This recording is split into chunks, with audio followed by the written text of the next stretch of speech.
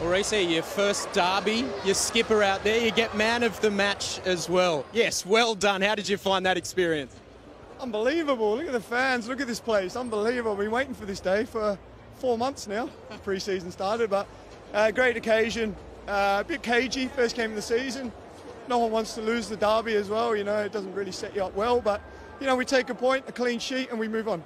How's your voice going? Because I could hear you screaming like a banshee out there, controlling the play. I mean, that's what you've been brought in to do, right? Just control things from the back? I hope so.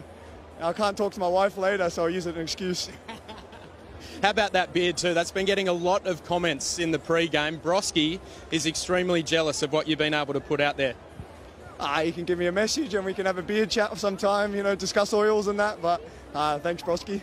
Now, in terms of the game itself, I know you, you didn't get the result, but what can you say about someone like a, a Jack Rodwell? Came on and just bang, shot that rocket at goal. He's going to be an exciting prospect for this team. Yeah, should have scored. Uh, unbelievable, you know, to have him around the club, his experience. He's a top, top fella as well, and, and everyone can learn from him, you know, me, me, myself included.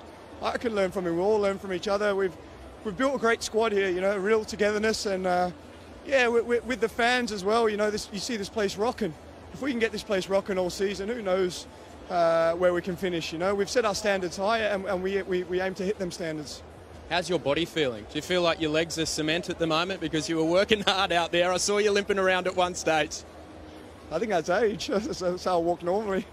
Uh, it, it, was a tough one, you know. Like I said, first game of the season, adrenaline running, uh, cramp after 60 actually, so that's not normal for me. So I'll have to get you I'll have to get over that. But uh, I really love the experience. I love this fans. I love this club, and yeah, the, the sky's the limit. Well done. Congrats on man of the match. Thank you very much. Appreciate it.